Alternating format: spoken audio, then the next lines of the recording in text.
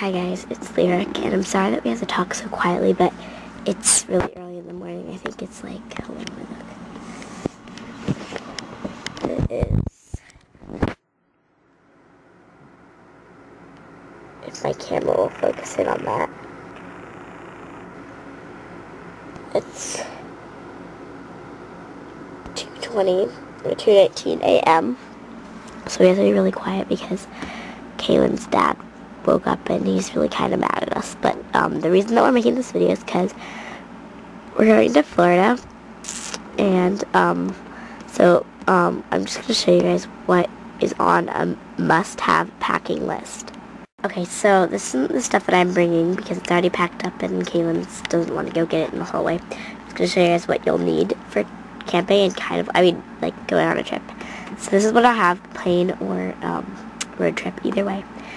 But um, first thing that you'll want to have is a book.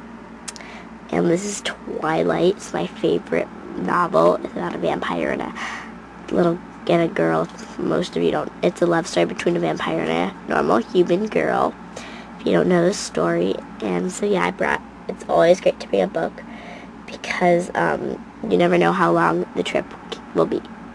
In case it gets really cold or you're really tired during your trip, should always bring a pillow.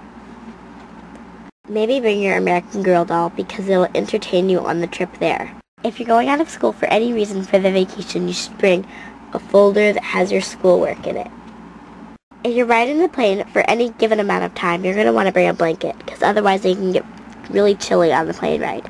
It's good to bring food to munch on. That way you won't get hungry on the plane ride and you won't have to spend expensive amounts of money just to eat disgusting plain food.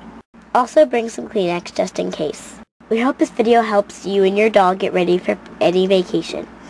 We're so excited for this vacation and we hope that you guys are too. Um, basically, um, we're going to be keeping a treasure box right here that we put some like seashells and treasures in so that we can bring them home. Because we're going to the beach, we're going to Disney World. We're going to several places and I'm so excited to go to Disney World. Actually, like, so excited. But yeah, we're going to upload this video and then I'm going to delete it and do the next vlog.